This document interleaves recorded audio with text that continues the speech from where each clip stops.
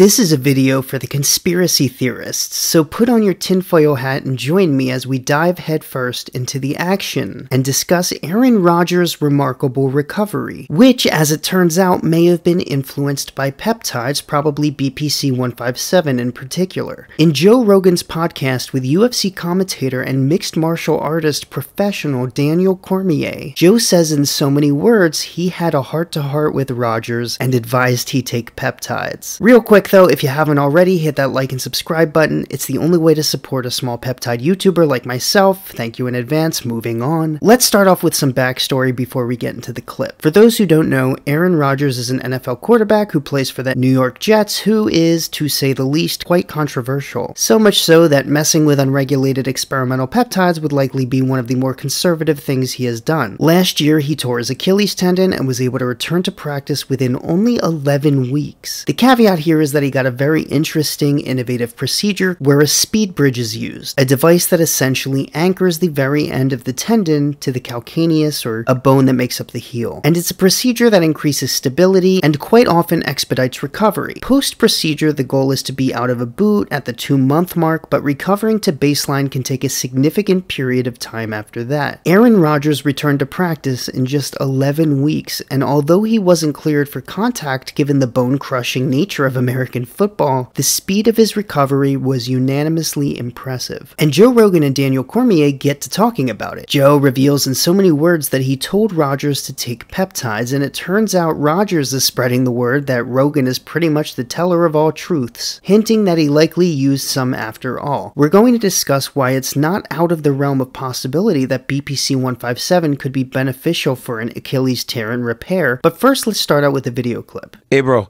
you know some of the funny shit I ever seen in my life? What? When- you know what I'm gonna say. When Aaron Rodgers was something happened with Aaron Rodgers, and he said you told him something. Yeah. that was the craziest shit. I was like, Joe's a doctor. He was telling me all this stuff. It was like he was saying all this stuff, and I was like, wow, he did it. But now I'll never question you or Aaron Rodgers because Aaron Rodgers is about to play football 11 weeks after his Achilles. Yeah. What is he doing? How? Uh, you'd probably have to ask him. You know him? Yep. Tell him. Do you tell me what he's doing? I'll tell you later. This dude is somehow playing after 11 weeks. Yeah. That's crazy. Yeah, it's pretty crazy. Joe, when I saw him on the field throwing that football, I could not believe it. He he tore his Achilles. Yeah. Seven weeks later, he was on the field throwing passes. He got cleared for football activities this week. How? He's 40. Yeah, there's there's a lot of modern science going on here. Look at him. Get out of My here, man. man. This shit is crazy, Yeah. man. I'm like, when I start feeling bad, I'm not calling nobody but you. I want you to tell me how to feel better. How? How? if I had to guess, like if I didn't know, I would tell you peptides. If you had to guess. Okay. Yeah. if I didn't know, I'd tell you peptides. yes, because dude, how? Like Yeah. this guy is That's what what, the, what I think people should be using for the UFC. This is the the argument for peptides, if that's what he's using. I'm Mm-hmm. not saying he is.